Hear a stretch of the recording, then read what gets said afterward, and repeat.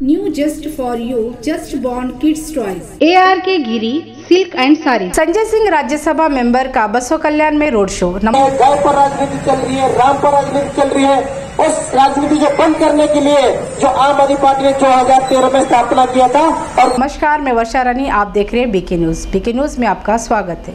Karnataka assembly election 2023 को लेकर बसो कल्याण कॉन्स्टिट्यूंसी के आम आदमी पार्टी के उम्मीदवार दीपक मालगार को वोट देने की अपील। करते हुए बसो कल्याण सिटी के ऐतिहासिक किले से अंबेडकर चौक तक आम आदमी पार्टी उत्तर प्रदेश के राज्यसभा मेंबर संजय सिंह ने रोड शो किया। इसमें आम आदमी पार्टी के उम्मीदवार Deepak Malgar state vice president Vijay Sharma और आम आदमी पार्टी के कई कार्यकर्ता रहे। रोड शो के दौरान संजय सिंह ने आम आदमी पार्टी के जो योजनाएँ हैं, उनके बारे में बताया और कहा कि जो सुविधा आम आदमी पार्टी ने दिल्ली और पंजाब में आम जनता को दी है, वही सुविधा कर्नाटक में भी देगी। आपसे अपील करने आया हूँ, निवेदन करने आया हूँ, गुजारिश करने आया हूँ आने वाली 10 तारीख को हमारे जो यहाँ से कैंडिडेट है, दीपक भाई, उनको चुनाव निशान झाड़ू पे अपना बटन दबाकर जिताइए।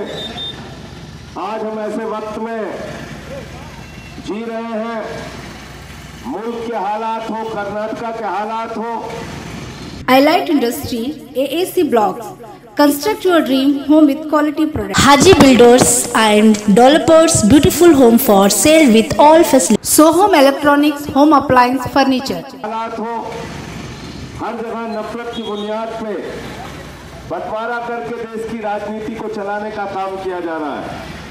लेकिन एक पार्टी ऐसी है आम आदमी पार्टी जो एजुकेशन पे हेल्थ पे बिजली की सफ़ाई के लिए झाड़ू चाहिए। शहर की सफ़ाई के लिए झाड़ू चाहिए। कर्नाटक और इस मुल्क की राजनीति की गंदगी अगर साफ़ करनी है तो झाड़ू की ज़रूरत है। झाड़ू चलाइए दस तारीख को। दीपक भाई को यहाँ से चुनाव जिताइए। मैं आपसे हाथ जोड़कर कर इनकलाब जिंदाबाद, आम आदमी जिंदाबाद।